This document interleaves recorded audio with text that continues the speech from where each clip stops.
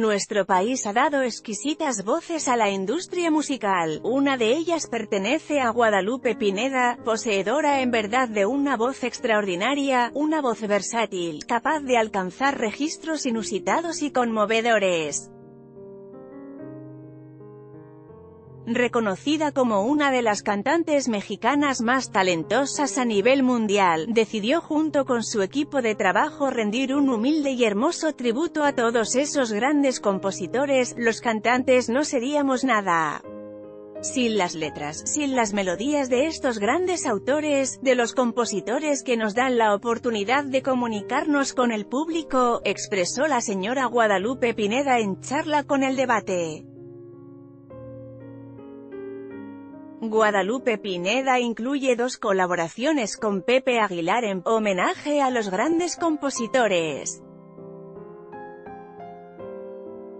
Foto, cortesía Sony Music En noviembre pasado Guadalupe Pineda lanzó, homenaje a los grandes compositores, la producción discográfica número 32 de su respetada trayectoria artística, que incluye además duetos con el maestro Armando Manzanero, Pablo Milanés, Pepe Aguilar, Raúl Di Blasio y muchos más. Me parecía que era un bello disco, una bella idea hacer este tributo. Escogimos a estos compositores porque primero que nada tenían que decirme a mí algo en especial, algo en el alma, para yo poder comunicar a la vez a mi público. Es por eso que escogimos esta hermosísima compilación. Cada una de las canciones del álbum, homenaje a los grandes compositores, tiene un especial significado para Guadalupe Pineda.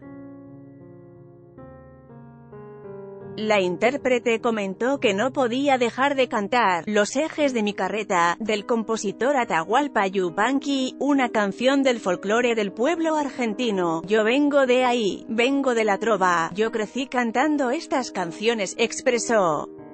Guadalupe Pineda es acompañada en uno de los temas por Raúl Di Blasio. Foto, cortesía Sony Music En esta producción Guadalupe Pineda nos regala emocionantes colaboraciones junto a los distintos compositores homenajeados como son el dueto con Armando Manzanero en Nos hizo falta tiempo, y Contigo aprendí, además cuenta con participaciones musicales que apoyan y enriquecen este homenaje, como Raúl Di Blasio en el tema «Procuro olvidarte», del compositor Manuel Alejandro, una delicia este tema con el piano de Raúl Di Blasio, un arreglo muy especial solamente con piano, cello y voz, resaltó Guadalupe Pineda. También podemos encontrar la canción Por ti, con la participación de su autor Oscar Chávez, a quien admiro profundamente. El maestro Armando Manzanero es uno de los homenajeados por Guadalupe Pineda.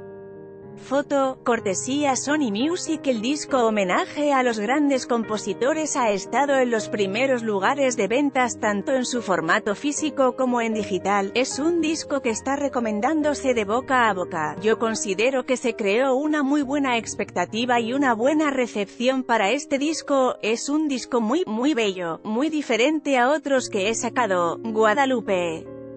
Pineda no descarta lanzar una segunda o hasta tercera parte de este magnífico homenaje a los grandes compositores, ojalá, porque este concepto da para más, por supuesto que hay grandes autores que todavía podríamos cantar, y ahora estoy feliz de tener duetos con Pablo Milanés, duetos con Armando Manzanero, con los coros que acompañaron en sus últimas presentaciones a Juan Gabriel con la Sonora Santanera.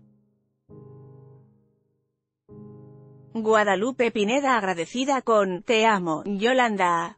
No podemos imaginar la carrera artística de Guadalupe Pineda sin el tema «Te amo, Yolanda», un canción que la hizo trascender de los lugares pequeños donde cantaba a los grandes escenarios. Ese tema cambió mi vida, resaltó.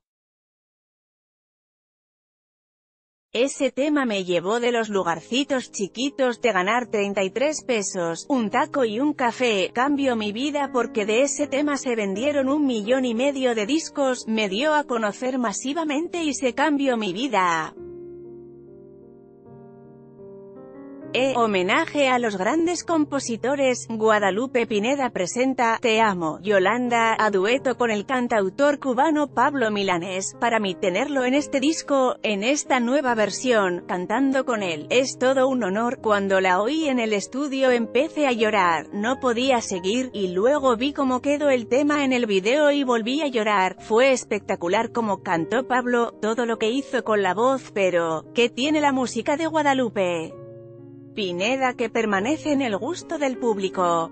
La intérprete mexicana resaltó que lo primero que tiene que tener un cantante es coherencia con lo que siente, cantar lo que a uno le gusta, cantar lo que uno sabe que pueda conectar con el público, ser leal a lo que uno piensa, a lo que uno dice. La señora Guadalupe Pineda se dice una artista que ha sabido tener perseverancia y no dejarse vencer por los momentos difíciles. Más de tres décadas de cantar con la vocación de quien no solo interpreta, sino crea, han consolidado a Guadalupe Pineda como una artista que se adueña del ánimo de sus escuchas y los emociona con la luz y la nitidez de su música. En esta nota,